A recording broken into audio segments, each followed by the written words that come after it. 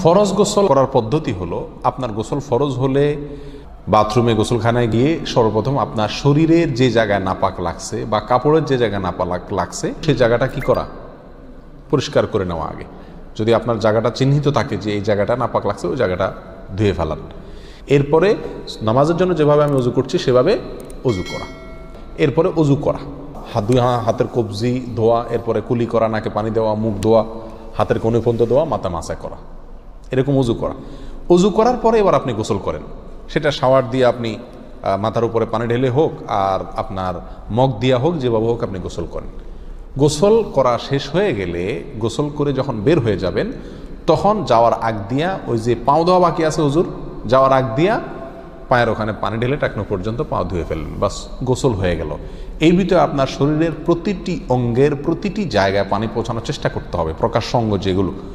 নাভির প্যাচ থেকে নিয়ে, বগলের নিচ থেকে নিয়ে, আঙ্গুলের চিপা থেকে নিয়ে, প্রত্যেকটা জায়গায় যেন পানি যায়, সেজন্য সেখানে পানি পৌঁছানোর চেষ্টা করতে হবে। ডলার দরকার হলে ডলবে যেভাবে হোক ওখানে পানি পৌঁছাতে হবে। কানের প্যাঁচের ভিতরে, একেবারে গভীরে না, প্যাঁচগুলোর ভিতরে যেন পানি যায় সেদিকগুলো খেয়াল রাখতে হবে। কোনো একটি জায়গা যদি শুকনা থাকে, তাহলে কি হবে না? ফরজ গোসল হবে না।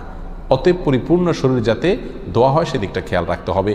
নেল পালিশ ইত্যাদি বা কোনো রং টং ইত্যাদির কারণে যদি কোনো আবরণ থাকে শরীরের উপরে, তাহলে সেগুলো সরা নিতে হবে, তা না হলে কি হবে না? ফরজ গোসল আদায় হবে না। কথা, প্রথমে শরীর এবং কাপড় থেকে নাপাকগুলো ধুয়ে নেব, এরপরে অজু করব পূর্ণাঙ্গভাবে, পাও দোয়া বাদে। এরপরে গোসল করব, আর বের হওয়ার সময় দোনো পাও টাকনো পর্যন্ত ধুয়ে তারপর বের হয়ে যাব।